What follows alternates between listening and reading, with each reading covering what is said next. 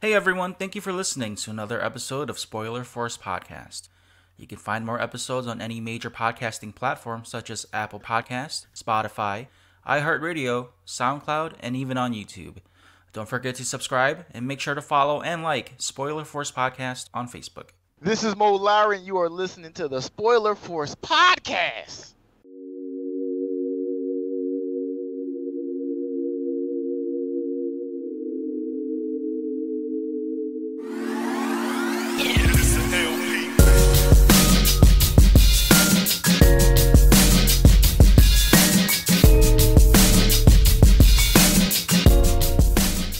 Right, so this is episode 56 of Spoiler Force Podcast. My name is Ricky, and thank you for tuning in. This week's guest is someone that I am extremely excited to have, someone whose content and pretty much career I've seen for the past couple of years now grow, and it's pretty amazing to see how far he's come. You may know his videos of his anime critiquing videos or commentating videos and his comedic style as well. He also streams and plays Jump Force, so you can catch those hands as well.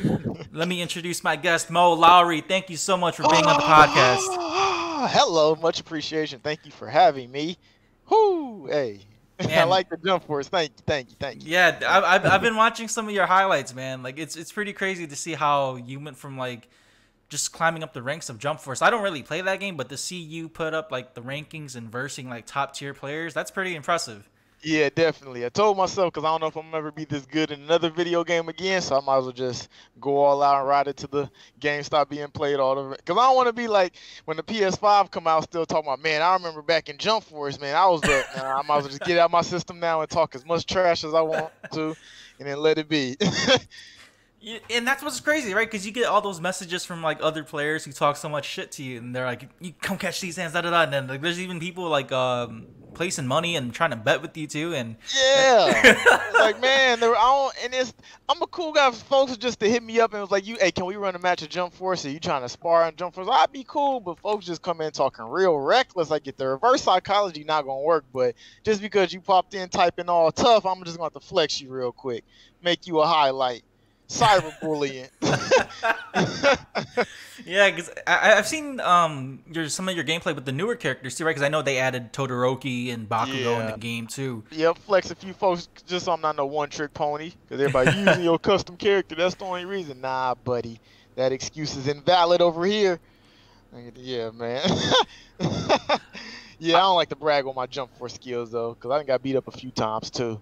Well, I mean that, that's how you get better at the game, right? You got to take some L's and then give other people L's. you're right, You're right. Goku wouldn't have been a Super Saiyan if he ain't take those L's beforehand. You're right. Which one's your favorite character so far, besides your created character? Uh, my favorite character besides my created character, I'd probably say Young Bakugo. I like the way he uh plays because I never really played with the other characters besides like the created character is the reason I really got the game just because it's like I'm already doing all this anime related talk stuff but I can create my own character like character customization for me is a big thing folks if they come in on my stream and I can customize a character I might spend like 10 15 20 25 30 minutes picking Damn. an outfit just because Yeah, I, I saw on your Instagram you had the Lemillion costume now. Yes, yes. They, they just dropped that and I had to do certain uh, events to catch that. So I get let me make sure so I can add it to the closet.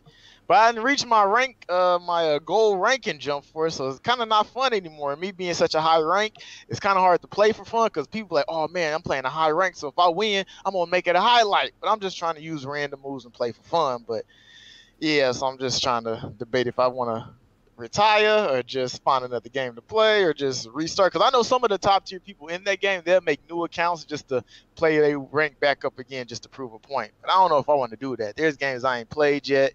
PS5 coming out soon, so Oh, I need to. I know. I need to I get. saw, I saw some of the highlights of that. I, I didn't watch the entire reveal, but I saw like Spider Man, uh, Miles Morales. I saw the Resident Evil stuff. Lots of good games that, or have games that have a lot of good potential for PS5. Uh, well- Ha- oh, Are I'm you sorry. a PlayStation or Xbox? Sorry to cut you off. That's all right. Um, I'm, I'm a, I grew up PlayStation, but I also played Xbox because of Halo. Um, Okay. but I, I definitely gear towards more PlayStation. But I haven't really owned a system since like PS3 because I, I just gave up once once all the games had like DLC and add-on content. I'm Man, just like, oh my man, goodness, they're just yeah. taking my money, man. Man, it's more yeah, DLC more expensive than rent nowadays. I feel you. I eh. definitely feel you. Because Oh man. like a lot of games, man, like I kind of miss that era where you had where you could buy a game for like 30, 40 bucks and have the complete game, right? And then now mm-hmm, these games come in incomplete.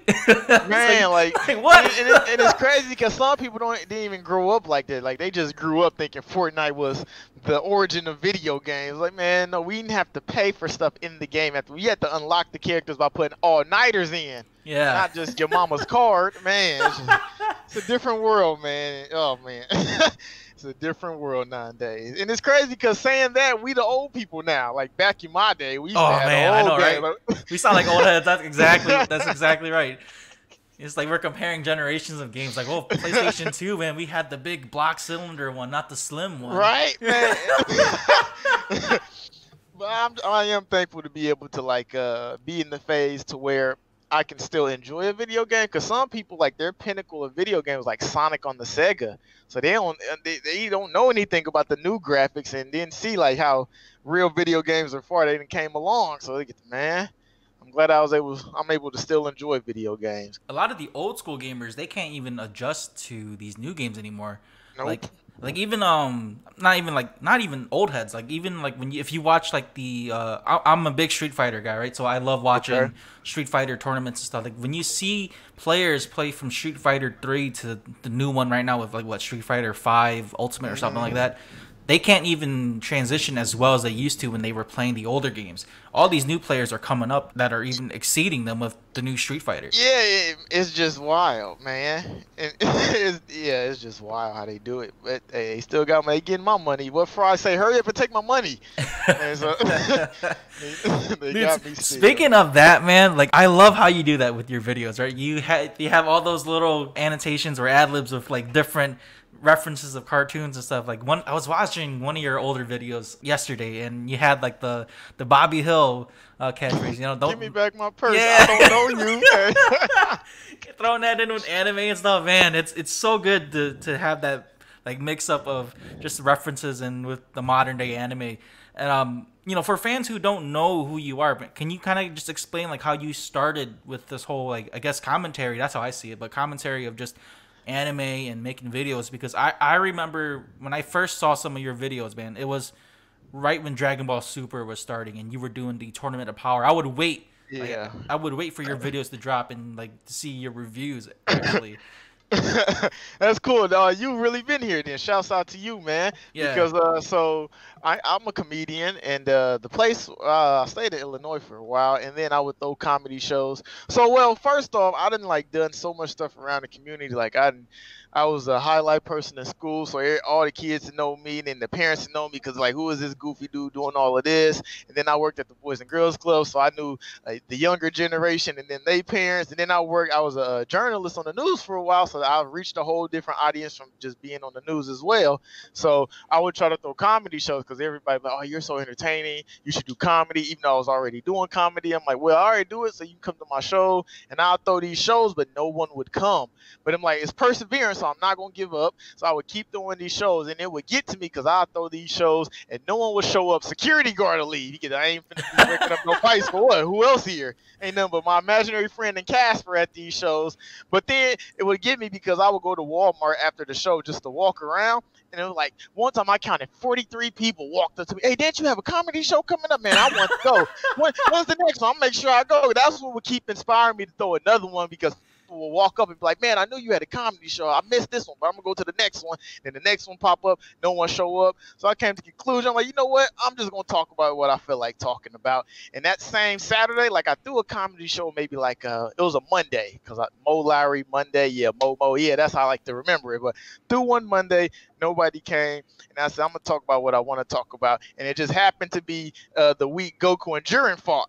I'm like, you know what, Goku? I watched that fight, and Goku got flexed for an hour straight, and I said I gotta talk about this, and that was my first uh, commentary video, and bada bing, bada boom, we here, and it's just it's just crazy how that like man, nobody come to my shows. I, it kind of remind me of how like Vegeta went Super Saiyan.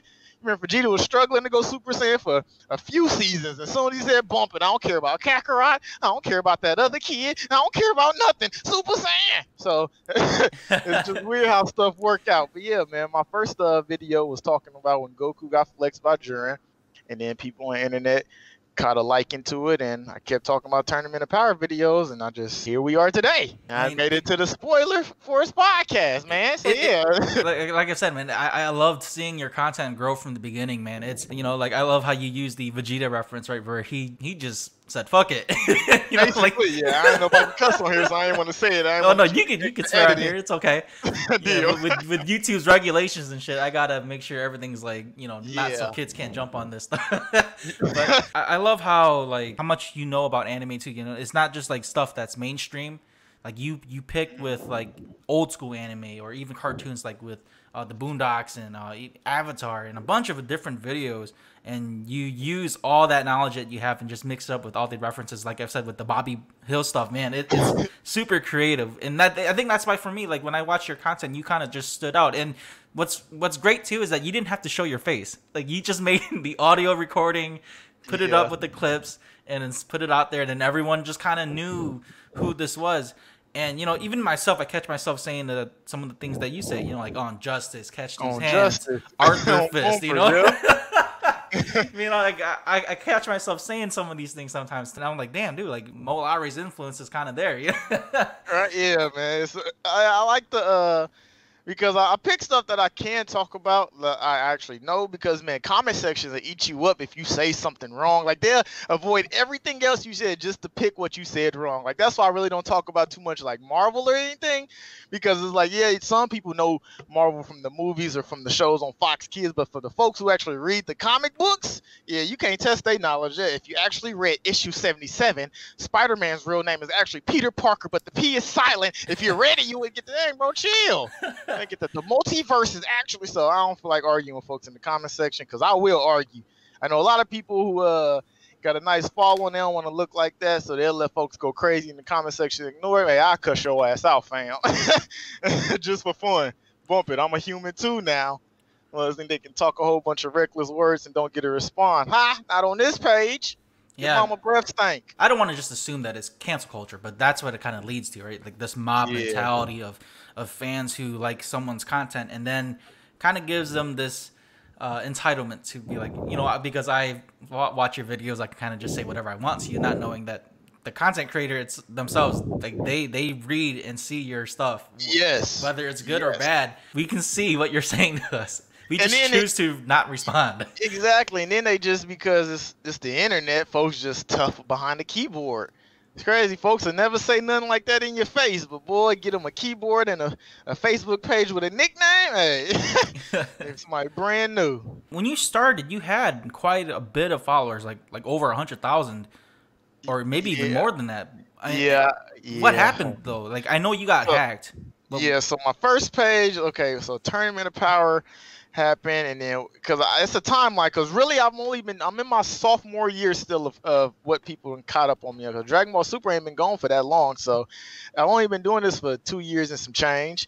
Uh, so my first page gets hacked because this is when do you okay so if you're on facebook you know when facebook start trying to do this facebook business and all that stuff? Yeah yeah. Okay well so when they had that update somebody had contacted me and i'm thinking it was somebody from facebook but it wasn't. And it was showing me they was going to give me a tutorial on how to do this facebook business deal and learn the ropes. But as soon as i like signed in the facebook business they got access to the page and they kicked me out. And i'm like ah and i couldn't do nothing about it. And it's tough to find somebody from facebook support because they really you can't really contact somebody unless you relate to somebody because everything will be a did you mean this? or are you searching for this? related topics to what you're looking for but you can't really find a human to talk to.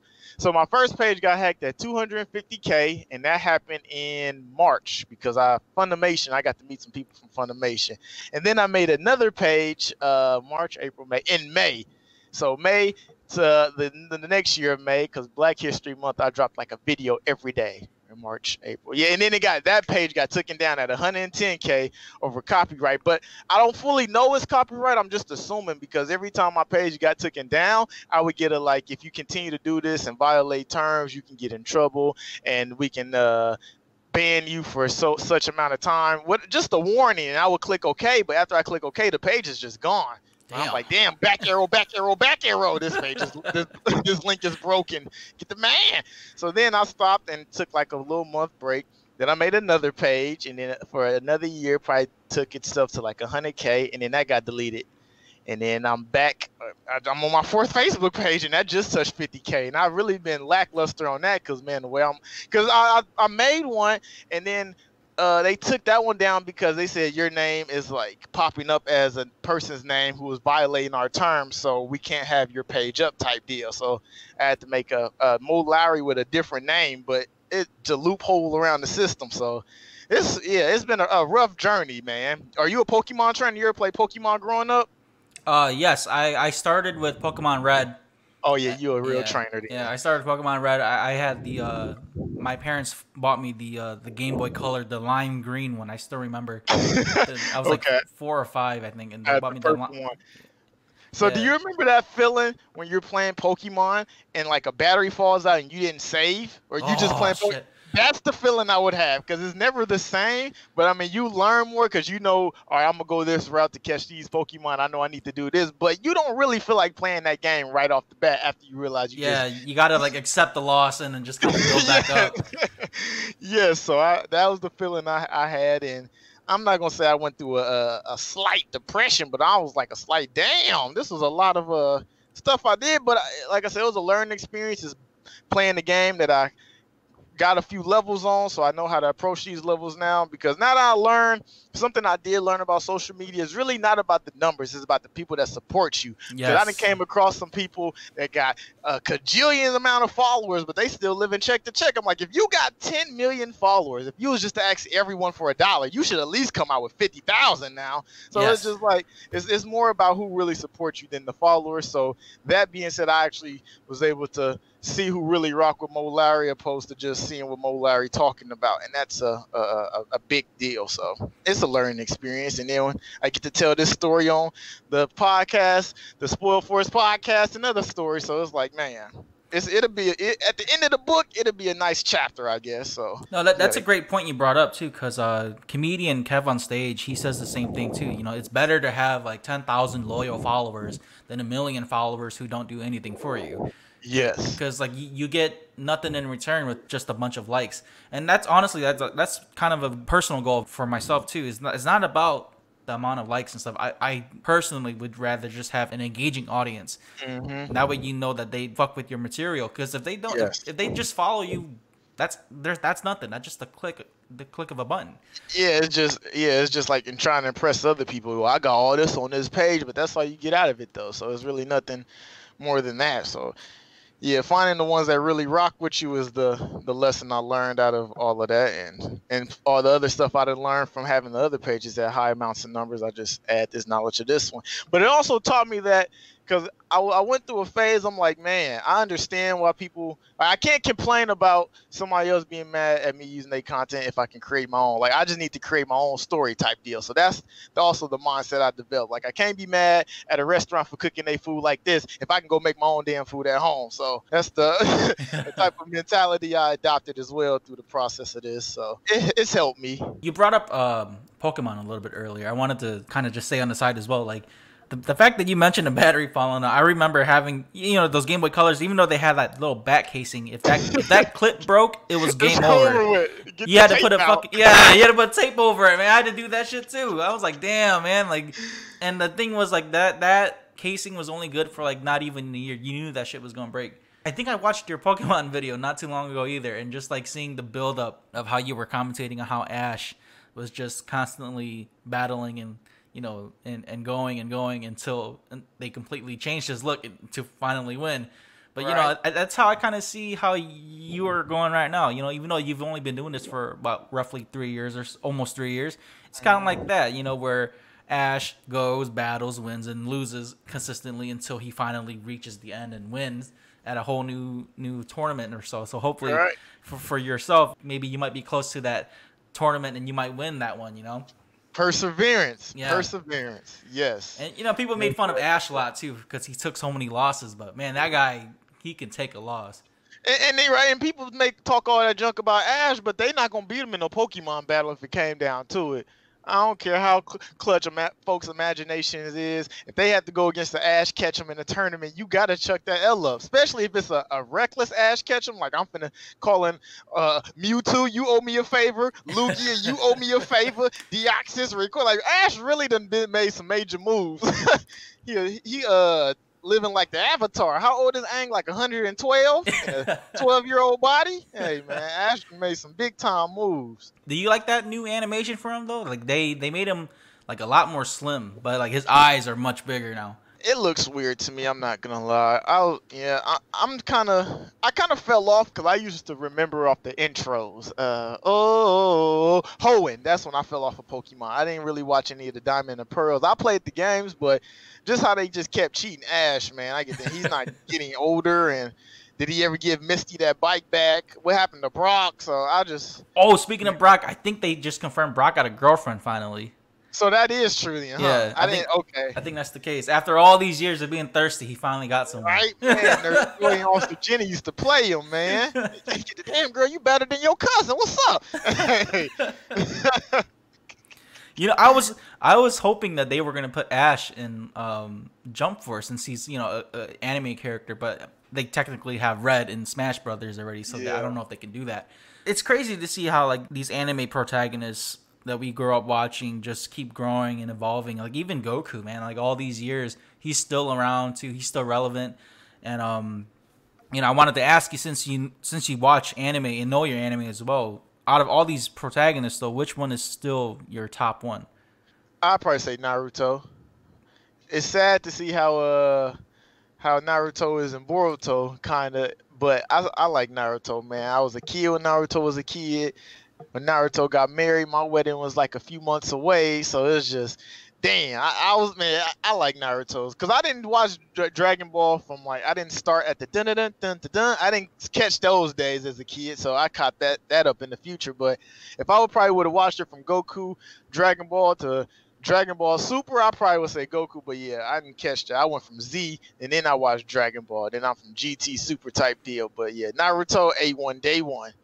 Yeah, feel like I was in the Leaf Village with him on that swing set crying. I, I, I gotta agree 100%. You know, for me myself, like Naruto was someone that I related to the most. Like as much as I loved Goku growing up, seeing him, excuse me, seeing him like fight Frieza, which was one of my favorite battles. But the story of Naruto was you're around his age by the time that show came out, or at mm-hmm. least in America. yeah. yeah, and then seeing him grow up in Shippuden, and then now he's married and has kids. It's like we're kind of around that age group where he's at, and we Yeah. can relate to who he is. But with Goku, man, that guy, you know, he's been around all these years. He's still not really taking care of his family. yeah, yeah, he definitely is a, a different type of father. But he, he put he put the world on his back a few times, so hey, I'll accept it. Without him, hey, a lot of stuff probably wouldn't have been here. What's your thoughts on like uh those Goku fans though? You know, the one I have a buddy who's like super hardcore Goku. Like he's he's like nobody touching Goku. You know, like he he believes that Goku is the best. I feel like you got to be the. I mean, the arg- the response I always come back with when the Goku film, like Goku not even the strongest in his own show, so you can't really throw him out like that. I can understand if he was the strongest in his own show, but hell, I mean, he's still having, the, he's still trying to train to change his hair another color, so I can't really say Goku can beat everybody. But granted, Goku can flex a lot of people though. If it was just no hold bars, everybody fight how they need to fight, yeah. Yeah, but I don't think how those Goku fans be like, yeah, Goku can just destroy everybody in every universe, and I don't know about that.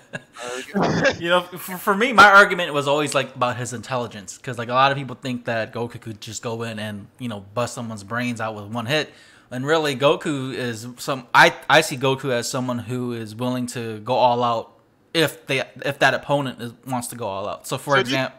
Go ahead, go ahead. I'm gonna ask my question after that. Go Oh, ahead. yeah. Talk- So, so, like for example, like if for ex- if he ran into Saitama, not knowing that Saitama had that kind of power, Goku would force him to go out all out just so that Goku can try to go all out and try to top that. Yeah, you're right. Yeah. Do you think Goku's a smart fighter? I got an argument with somebody or a debate. Do you think Goku's a smart fighter? I, I think he is. I think he has great battle instinct for sure. But when it comes to like trying to outsmart an opponent like intelligently, I don't think he has that. Like for example, a lot of That fans a good way to break that down. Yeah, a lot a lot of fans like to use the whole Superman and Goku thing, right? I think Goku would not be smart enough to, to bring Superman to like a red or a red sun or use kryptonite. There's no way Yeah. he, he'd be that smart. Yeah. But Goku would be smart enough to, in battle to adapt. So if he knew that Superman only had like laser eyes, right? He knows he, he could avoid that easily. I like how you just broke that down. That was, I like how you just broke that down. I, I totally agree. I totally agree. Yes. Uh, hey, I ain't got nothing to say about that no more. You, that was perfect. Yeah, Hey, I need, I know, need to go make amends with the people I argument with that answer then. Cause, cause the thing is like, folks, the, the whole Goku Superman thing. That thing is that that battle's been going on for years, and you know I, I had to really uh, invest myself with Superman's knowledge when I was younger because I was just like that too. I was like Goku can go there and you know he could take out Superman. He can go Super Saiyan three and end it right, but Yeah. we don't realize like Superman's writers, he's got over 80 years worth of different people writing his story. So Right, dep- yeah. depending on who he's fighting, he Goku could be fighting Silver Age Superman and he'd lose for sure. Because Silver Yeah. Age Superman is the one that's like can carry universes and go all over the place. He's, he had unlimited power.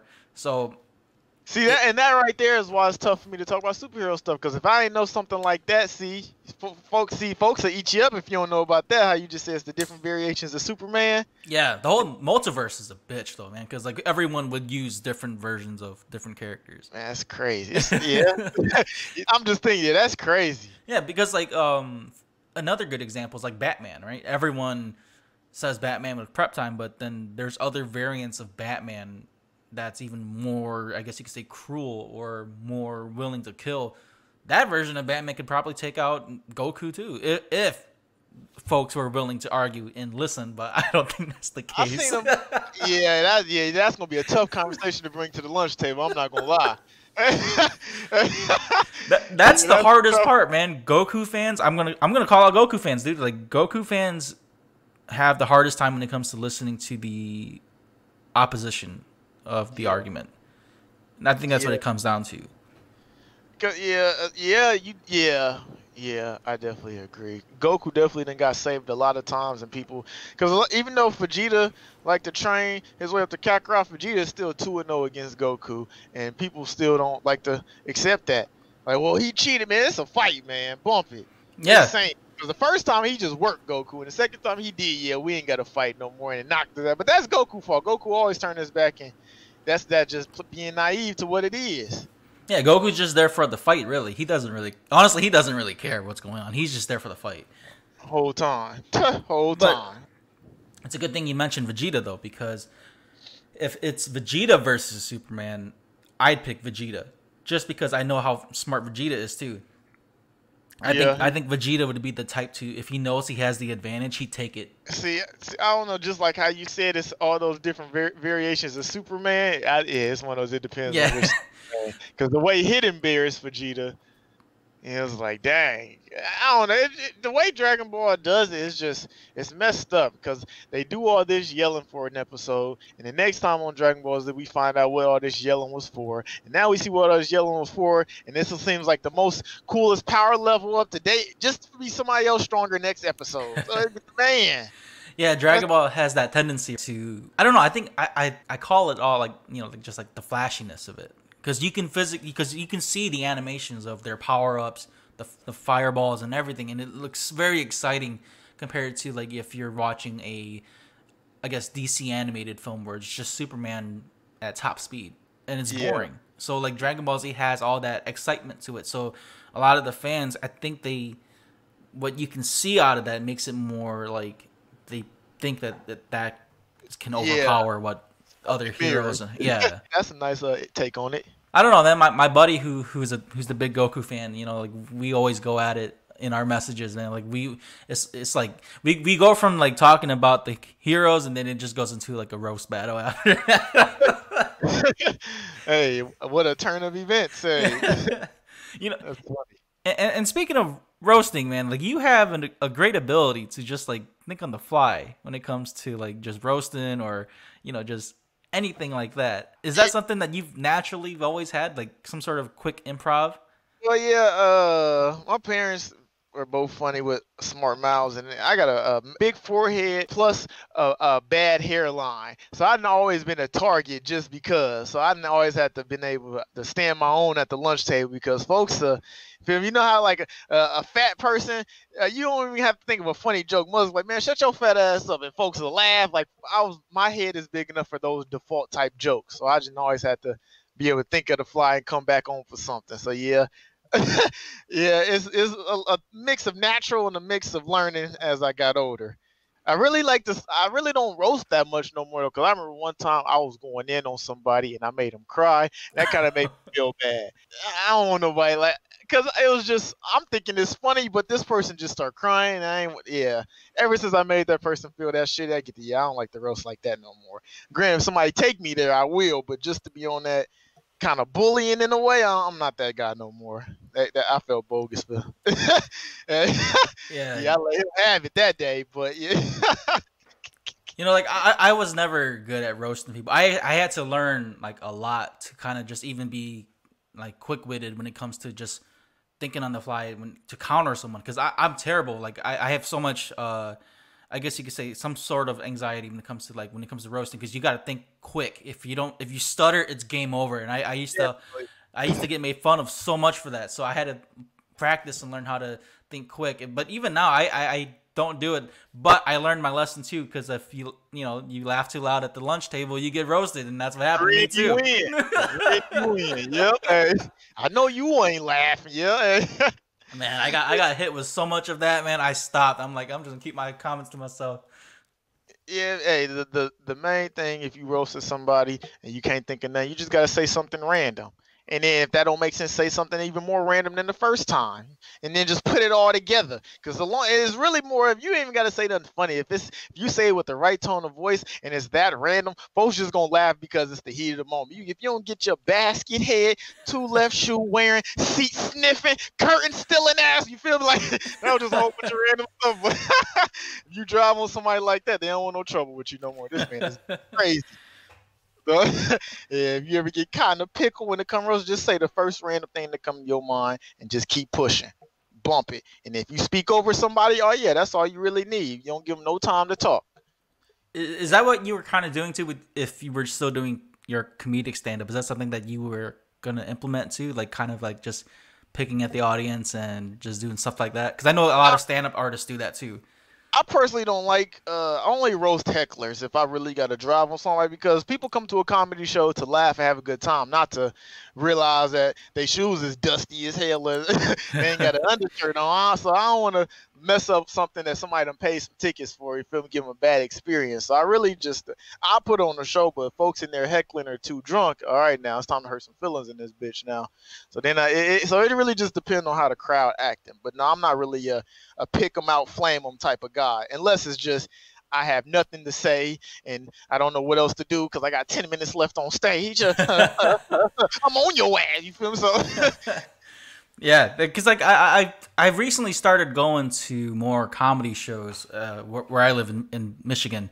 You know, it, it's it's pretty fun. You know, I, I never realized like even small clubs would have that kind of interaction when it comes to like just meeting local um, comedians or trying to see comedians on the rise when it comes to just that like so like you see I I see like different styles of how like these com- comics they just kind of you know do um, just like either not so much roasting the audience, but like they like to pick on the audience or at least the front row, kind of yeah. start a conversation if their material is kind of lacking a little bit, or if you see like you know, like you said with the hecklers, man, they go off on those people too. Yeah, cause man, you, are not on stage, so shut the fuck up. Yeah, like, why are talking, man? Damn, if you want the attention to be on you, we gonna put the attention on you, my boy. and you just hey, take it from there. So yeah, I definitely the worst time I did a heckler was a guy in a wheelchair. He was just drunk and he was just because I, he was already in a wheelchair, so I didn't want to take it there with him. But hey, he didn't let up, so I really had to. Hey man, come on, Joe from Family Guy, chill, my boy. Hey, what you in a rush for? You ain't got nowhere to step out to, so I. uh, I just think, but yeah, he, he invited that to himself though, man. So yeah, after uh, I'm hoping like once stuff opens back up and we get to whatever our new normal is, I can go back on stage because it was also different for me on stage because I'm a if a person doesn't understand me or understand how my imagination works, I really I'm really that weird guy. Like man, I don't get. He up here on stage talking about Dragon Ball Z. That I mean I watch it, but I, I'm not gonna laugh because I don't want everybody else knowing I watch Dragon Ball Z type deal. But now people understand who Mo Lowery is and they know how kind of the Mo Lowery imagination works. They know what to expect. So I, I'm ready to get back out there and you know be cool because a lot of people, man, it's tough being on stage. That's a. Have you ever did an open mic before? No, I, I mean I, I used to. Um, I guess open mics such as like playing the guitar and singing. I used to do that uh, a few years ago, but not so much stand like doing stand up. Like stand up, I don't know, man. The the writing style is way different because you gotta engage an audience that's looking at you instead of just like seeing a different talent when it comes to like rapping or singing and having music in the background. Man, like when you're, I, I can only imagine just standing there and it, it's just quiet. And if they don't react to your jokes and you bomb like that, it just kind of piles up. So like, yeah. I, don't, I don't think I could face that kind of anxiety. Add it to your bucket list because it's like just getting on a roller coaster. If you're looking at that roller coaster, hearing those people scream, you get the man. I don't know about that, but after you get on and get up, you get the, okay. I might want to get on again because yeah, yeah, and then you'll see some people that'll do way worse than you gonna think that you'll ever do. So that also motivate you a little. It's one of those. Well, if they can do it, why am I nervous about doing the type deals? But yeah, it's a, uh, it's definitely a, a different type of uh I don't want to call it a talent, just a different type of deal to do. It's weird, but yeah, it's uh, it's cool though. I think add it to your bucket list, man. Add it to your bucket list. One day you're gonna be at a spot and you're gonna have the chance to do it, and you're gonna debate should I get on and do it or not. I'm gonna pop in your head and say, hey, go ahead and do it. for sure, man. I'll definitely take a chance on that for sure in the future. But yeah, but public speaking is like, man, it, it's nerve wracking. Like I already have like a hard time just like looking at people when it comes to like just talking in person. so like I can only imagine just having a crowd of people just staring at me. I'm just like, oh man. yeah, I definitely done been in that, that position before, and it was kind of nerve wracking, but I got, I got over that for sure. Not not doing like stand up that, that that's pretty much really helped you with like how you I guess not so much interaction, but I guess some way of like self confidence. Are you building up like how you know what kind of material you want, you want to write and solidifying that. And is that something that helps? I guess the way of writing or doing stand up that kind of that transition for you right now when you're doing all your videos or commentary has that been an easier transition for you i don't know i kind of feel like what i'm doing now is easier than the stand up thing man because the the internet, man, after folks start making funny videos, like it's crazy because stand-up comedy is in its own is its own island, but folks on the internet see something funny and they just throw that into the comedy category. So it's kind of like now folks who do stand-up comedy have to compete with funny people on the internet, and it, it, it's not the same thing. So it's really in its own entity because some people can just uh, just like how you said, you, you can sit up here, we can just keep talking, but getting on the stage is a different type of deal. So it's it's kind of different. I mean, I'm, I'm sure it's probably helped me in some ways, but kind of feel like what I'm doing now is more lazier than just trying to get on stage and talk to people in person. If that makes sense. So uh, yeah, because I was doing comedy first, and I didn't really want to pop on the internet wave and start doing stuff. But it's like, man, the way the world going, I, I gotta adjust adapt or get trapped. So huh, it's kind of it, and it's kind of made me uh what's the way to put it? I don't want to say dull, but like if I go out and do some comedy, I'm engaging with people, I'm in front of people, I'm interacting. So my energy is different, but just doing stuff on the internet, I'm at home, I'm looking up clips of stuff, I'm cropping stuff out, and I'm in my own area just doing my own thing. So it's like I'm not really around too many people. So now that me being engaging kind of I mean, like being engaging to somebody in person is different than just replying to comments on the internet. So it kind of yeah. made me, uh, I don't want to say stale, but just a little more dry than I used to be. Yeah, in in person uh, interaction definitely makes a huge difference. Like even in podcasting, like, like I know that what I'm doing right now with the whole audio call or like even webcamming stuff, it, it's still pretty interactive. But having a guest like in person, it's a way different um, vibe because yeah. you, you can see their interactions, you can see the body language, you can see them feeding off your energy, and, and it goes back and forth. So I can definitely see how comics, when it comes to stand up, you can gauge the audience and see the energy there. versus like doing a funny video and clips, which is what a lot of comics are doing, or I guess you could say internet comedians are doing now, where they just you know commentate on uh on funny clips or put their thoughts on on stuff like that, and that's kind of like this whole new wave of comics that's on uh that's on Facebook and Instagram. Yeah, and then like a person could just keep, you know, you can take as long as you want to to do a video. If you don't feel like you want to like this, well, you can nobody sees it until you upload it. But on, when you on stage or in front of people, what you do is what they see. So yeah, is this you got to be there, yeah, there's there's no redos up there. no redos, but you got the Persia dagger on you, but. Yeah, no redos. Yeah, I, I wanted to ask you this too. I know last week was uh, supposed to be for DreamCon, uh, 2020. I was actually planning to go there la- uh, last week before this whole like COVID stuff happened. Um, and, and you mentioned that you got to to see fun the people at fun, Funimation and stuff. And I think if I remember correctly, you also got to meet uh, Daquan Wiltshire, right? Was that at DreamCon? Yeah, no, that wasn't. I haven't been to DreamCon before. I also I met Wiltshire whenever we went to the Funimation thing. We had did a podcast.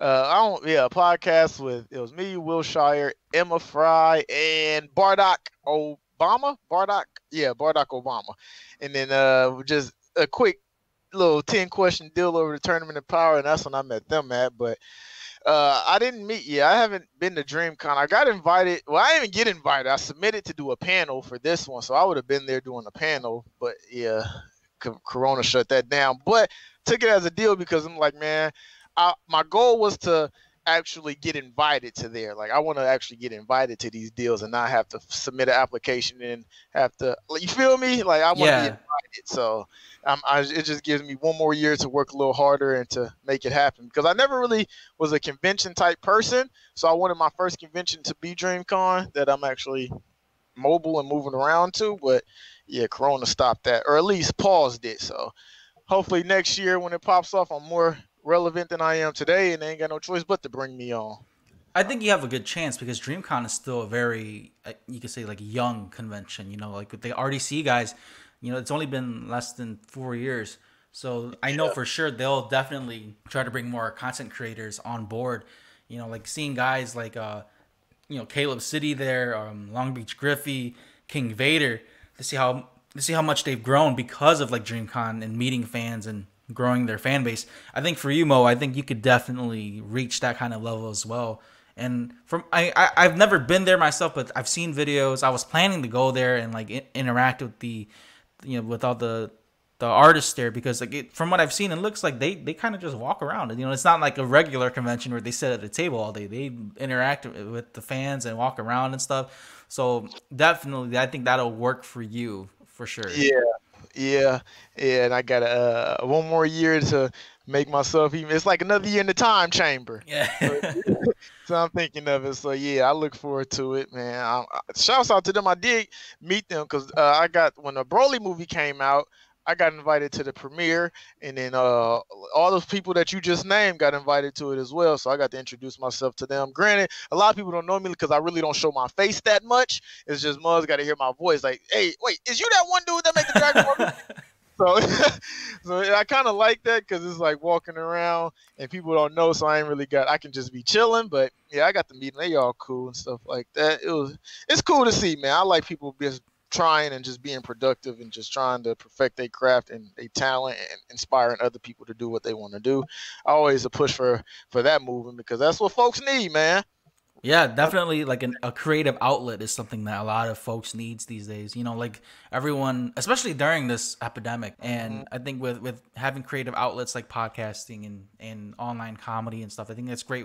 A great way for people who who don't who may not know that they have those kind of talents to kind of just surface, you know. And I think it's, it's a great idea to kind of just start now. Eh, yeah. But but I wanted to ask you this as well. You know, not I know that you just mentioned that you you've met those other content creators, but have you considered like trying to collaborate with them as well?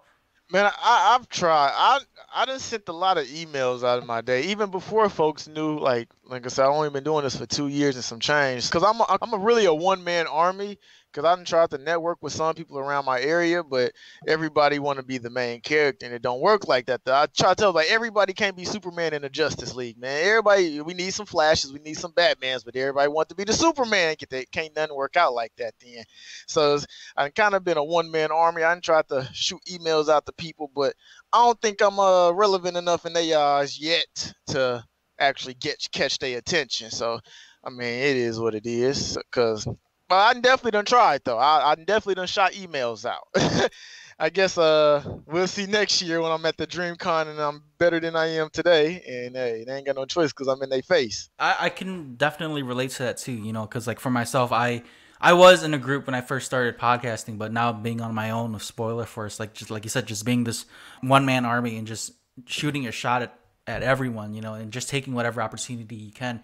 It is, it does get pretty like difficult, and it does drain you out because like you're you're on your own, you know. It's yeah. and a lot of folks don't see that that struggle of being a content creator when it comes to just that, and uh, you know, not not taking away anything from like these other content creators who have teams and everything, but because they have a team, it kind of lightens their load a little bit. It definitely does. Teamwork makes the dream work for sure. Yeah. So it's definitely uh Granted, I'm sure it may have its own stressful issues as well, but boy, hey, doing everything by yourself is stressful in its own. So, yeah, oh man, yeah, I definitely, yeah, Whew.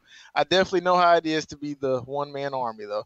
Well, like I said, it taught me though how to just do other stuff though because I mean I know how to record, I know how to edit, I know how to write, I know how to present. So I mean, if that's what I have to go through to learn everything I learned, still up to this day, hey, I'll take it. Yeah, it makes you makes you valuable at the end, man, because you can right. do you can do whatever they ask you to do. If they if they uh-huh. want you to just crop and edit, you already know how to do that. That's easy work. Personally, though, man, even though I'm a I'm a, a cool personality and an outstanding person, I really like to write. Like I like I, I like to write for other people because I, my comedy, like I said, I, I uh, dulled down a tad bit than when I used to be. I used to be like a, just a little more wild, you know, uh, you know, just don't care type deal. But I got married, got older, got a little more mature, so I dulled down a little bit. But other people still in their phases of wildness. So all the stuff that I didn't wrote down and wish I would have done when I didn't give a damn, I like to just, hey, just to be funny if you present it like this, like that type deal. But really ain't found a solid team to write with or write for. You know, I think there's um there's one there's one guy that I, I spoke with last year. I don't know if you know who, who he is, but uh, Dontarian Kelly. He's also uh, up and coming. Uh, I guess you could say internet comedian as well. He does like skits and stuff too. And he interacted with the guys at DreamCon, and he recently reached over a thousand subscribers just last year. And I got to to talk with him on the podcast too. And he, he's an up and coming guy that uh you know that does a lot of writing too. So maybe you can kind of kind of shoot your ideas at him too. Maybe you guys can collab too. You know, it's it's always I always find it that it's good to work with people who are like around the same level as you too. You know, I, I know that with all the big names out there, it's great for your for your platform, but to kind of rise up with people who are on the same ground as you, I think that's what makes it more successful for sure. Definitely, definitely, because everybody kind of on the same page, so they understand the goal. Yeah, because yeah, it's kind of hard to yeah, yeah, I definitely understand what you're saying. I definitely understand what you're saying. Huh. Teamwork make the dream work, though. Whew. Oh my goodness. What's your favorite Pokemon? I want that guy. What's your favorite Pokemon? Or, or I'll put it like this: If you was going to Professor Oak and you can get any Pokemon excluding legendaries, which Pokemon you asking for? Man, my go-to has always been Charmander. That's why I chose Pokemon Red. The fact oh. that I don't know. I, I, I guess it's just like the fact that he just stood out to me. You know, with the flame tail, the lizard, and stuff. And even in the anime, you know, Ash spammed the shit out of Charmander. That's why he didn't yes, listen to him. yes, Yeah. So like I I've always liked Charmander up to like you know where he evolves into Charizard. I've always I think that with the anime like kind of made me always like that. And the fact that Charizard was a bit of a dick too, you know, like he didn't really care so much and up until where he realized like oh sh- oh shoot, you know, like Ash is pretty good to me, so I got to start right? being yeah. good. yeah, definitely. I wonder what Charizard level had to be then, since he was disobeying Ash for a while. Charizard, because you know the Pokemon game concept, if your if your Pokemon level too high and you ain't got enough badges, they ain't listening to you. But then Ash was in the Indigo Plateau, or the the, the Pokemon League fighting and Charizard still wasn't listening. Yeah, that, 101 or something. Then I, I think if that's the case, I think Ash must have like really overpowered Charizard. But like even even then, like you know, with with Charizard's character, I always found it funny because like everyone loved him until he went to the uh that area where all the Charizards were training. He was the little runt compared to everyone right? else. yeah, yeah. yeah, you definitely. Hey, now that I'm thinking about that though, essentially Ash really didn't earn all his gym badges from like beating the trainers. It was always like a feel me? Like you remember he beat Sabrina? That was like that gym. He did he even really beat Sabrina, or did he just make her like come to a realization that, hey, you ain't that crazy type deal? I, I think honestly, Haunter is the reason why he got, he got he even got that badge. Haunter came yeah. in clutch. For and sure. yeah, and, and Haunter wasn't even his Pokemon technically. So yeah, he got help from the outside source. and, and, then the Earth badge, it was Team Rocket filling in for Giovanni. Oh yeah. Was, so yeah, I don't know. He didn't have a lot of yeah, a lot of loopholes. So I don't know, man. But shouts out to Ash Ketchum. He still got him a trophy, damn it. So hey, it worked if it got him to where he at today. you, you know, you spoke about writing, and I, I, I was watching one of your lives. You said you were uh, writing two comic book series or manga issue. Like, yeah, is that something you're still working on? Yes, I am. I got a uh, one called Mo Heroes, Mo Problems, and the other one will be called The Above.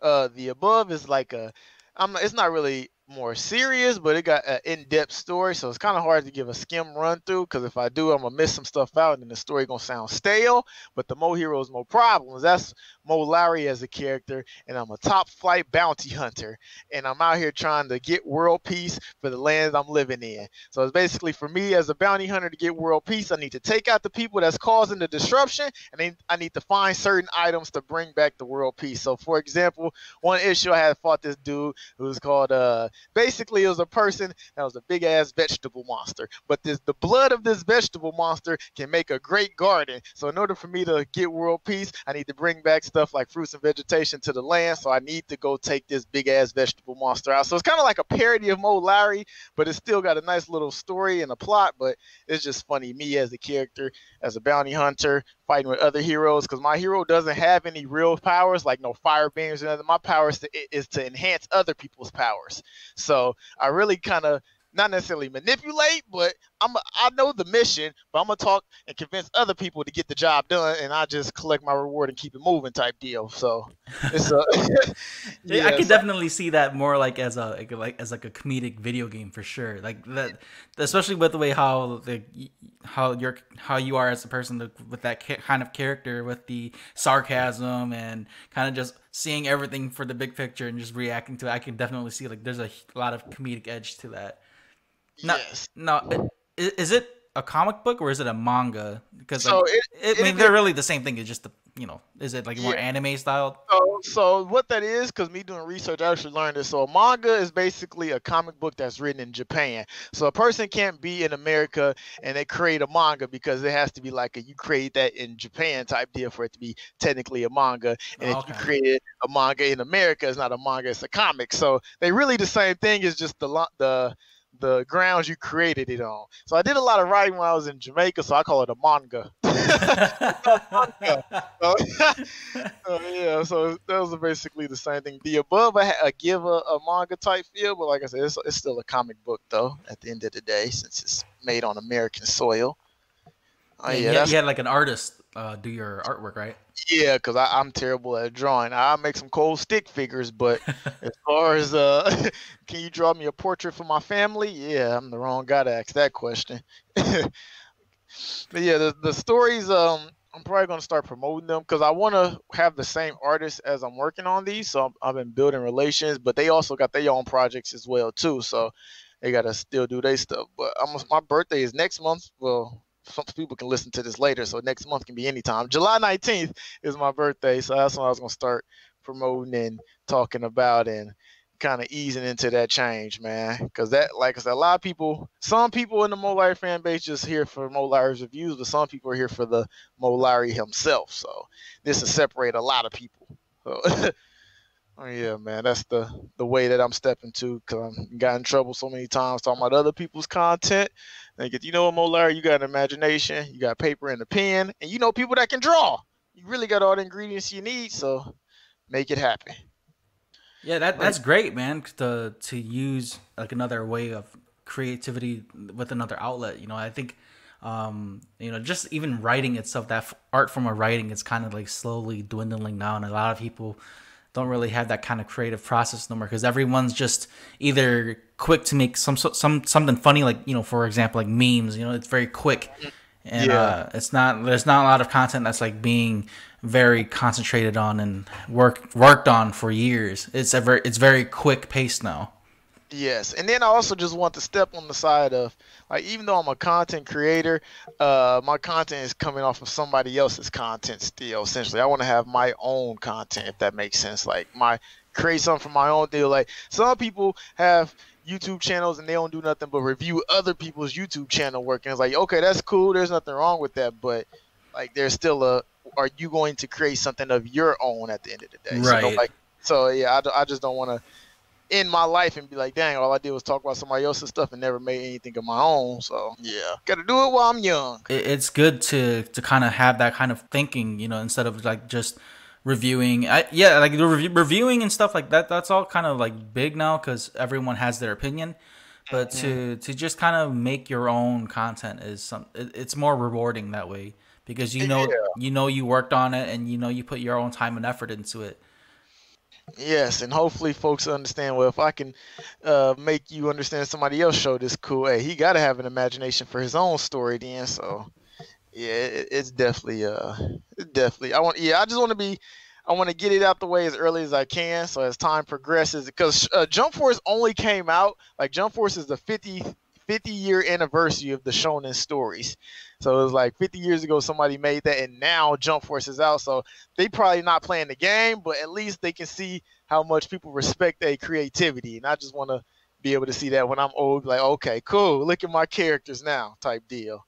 That's a good way to to end things too. You know, just to see how like how far your career has gone, and not just like, you know, like the way how you, the way how it's been put, it sounds like you know you don't want no, no regrets when it comes to creating your content. You know, you don't want to miss yeah. out on any opportunities that could present itself. So I think creating your own stories or characters or you know your own timelines, it, it's something from you, and it's not like where you're you know like you were saying, it's not like where you're reviewing someone else's art. You mm. know, you put your stuff out there, and that's that's you yeah, so that's the, the thing I'm trying to, to do, man. The move I'm trying to make, and I use that step to make another move. So yeah, it's just as long as the move is forward, I feel it's progressive and productive. I hate to cut this short, but I, I, I want to thank you for for this opportunity to be on the podcast and stuff, you know, and uh, just for being uh, patient with me as well, you know, because I went on that hiatus and uh, and everything. I know we were gonna record this like a month ago, but we got to do it today, which is good. Um, and uh, you know, I, I gotta say, I'm very grateful for this opportunity to to talk with someone whose content I've seen pretty much almost from the start and see where you've gone and to see to listen to your ups and downs and, and and being a content creator and still persevering you know like for myself i've only started this podcast for just a little over a year and facing okay. adversity you know like yeah i don't think i could i don't think hearing what you've gone through, I don't know if I could handle that right now, but I think maybe in the future, once I start learning more and hearing other people's experiences, also kind of just like apply that for myself, you know. So thank you for sharing your experiences and I hope I hope everything goes well for you, and I hope everything goes um, plus ultra for you, right? ultra on justice, hey, yeah, yeah, so much appreciation. Thank you for having me, man. Yeah, I get uh every time I get in my feelings about something not going the way I planned it to go, I get the man. What else do I really got to do? So I might as well just get out this emotional wave I'm in and just hey get back up type deal. A, analogy somebody had told me, and I kind of just remember it every time. They was like, if you watch a baby trying to learn how to walk, as many times as they they fall, they get back up. So you done had that that motivation and that drive inside of you. You just lost to getting older, but hey, act like a baby. If you fall down, get your ass back up and keep trying until you learn how to walk. And then you're running, and hey, you're on your way then, man. So that's the analogy I always think about when I'm out here in my feelings about something. Oh yeah, man. Hopefully, uh, you're getting your little feelings on. You get, hey, man. I was a toddler before and I didn't know how to walk. And damn it, I'm walking on both of my feet now, so I can do anything I need to do, man. Do you have any, uh, I guess, shout outs or plugs you'd like to say before we wrap things up? Um, if I had to shout anybody else, shouts out to the Spoil Force podcast for putting me on. Uh, shouts out to my reflection for looking just like me.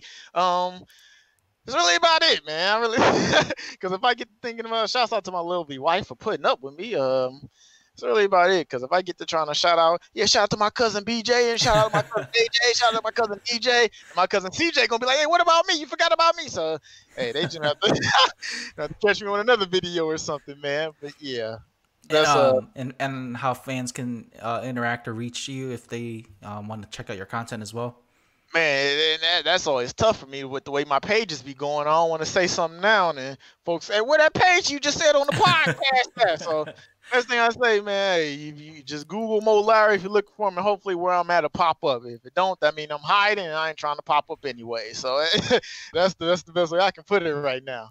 I'll definitely have your uh, Instagram and YouTube for sure. Um, I'm not too sure about your Facebook. I'll put your Facebook links up for sure, but I'll definitely have your YouTube and Instagram for fans to check out your content much appreciation. Much appreciation. Thank you for having me and all that good stuff, man. This was a great conversation. Like I said, man, I was excited to have you on, and um, dude, it, it, has been great. So, uh, for folks who are listening, definitely check out Mo Lowery's content. I am not lying when I say that his content is great, and uh, and definitely check out his videos, man. And um, oh, speaking of, you have a Patreon as well, right?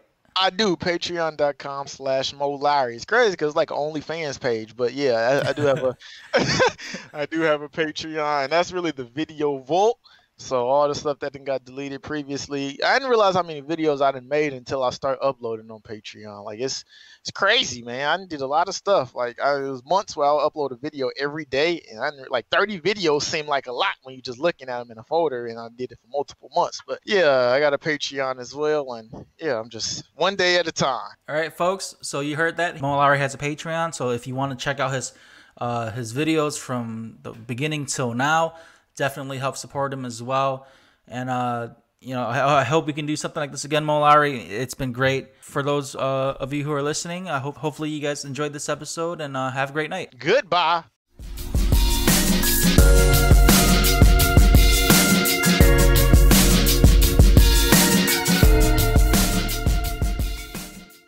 If you enjoyed this episode, make sure to follow, like, share, subscribe, and rate Spoiler Force Podcast. For comments, questions, or criticism, you can email me at rickyvang92 at gmail.com or message me on Instagram at instagram.com slash rickyvang92.